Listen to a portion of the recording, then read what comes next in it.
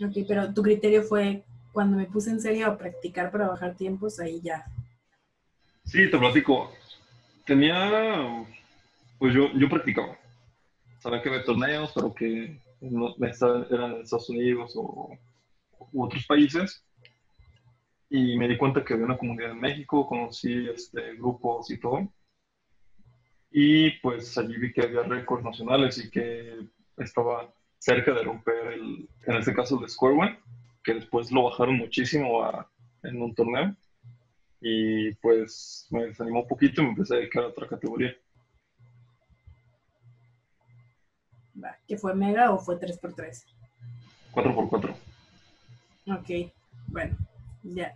¿Y cómo llegaste a Mega entonces? O sea, después de cuántas categorías?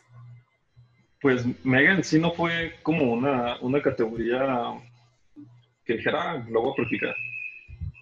Fue porque aprendí cómo, cómo mezclarla, porque sabía mezclar todos los, los pozos oficiales.